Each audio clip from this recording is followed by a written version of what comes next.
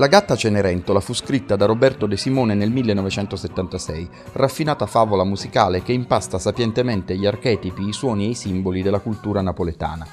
Martedì 20 dicembre al Teatro Mediterraneo la gatta sarà rappresentata in un'edizione speciale a cura del Centro di Salute Mentale di Puglianello, con un cast di circa 100 attori e musicisti fra medici, infermieri, pazienti e volontari della struttura pubblica Sannita.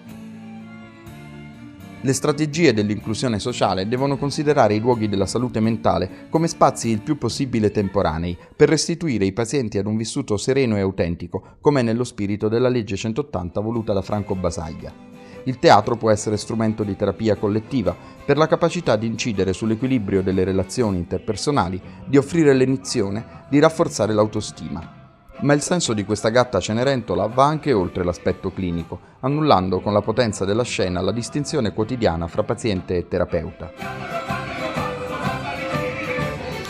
Noi partecipiamo tra io, Bruno, e insieme a Raffa- Raffaele e Guido. Faccio la, la sorella e, e poi la sorella.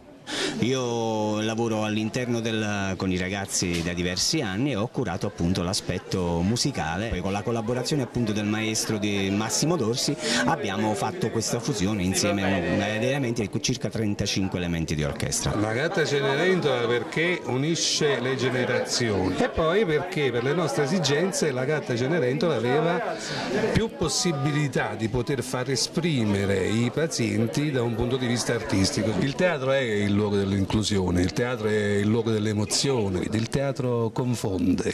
Il comune di Napoli ha scelto di patrocinare questo progetto, inserito nel programma di Natale a Napoli, anche come percorso esemplare di riabilitazione integrale delle persone in sofferenza psichica. Oggi, in un, in un, periodo di particolare difficoltà del Servizio Sanitario Nazionale, queste formule diventano, oltre che assolutamente positive dal punto di vista terapeutico, sono anche probabilmente quelle più sostenibili economicamente.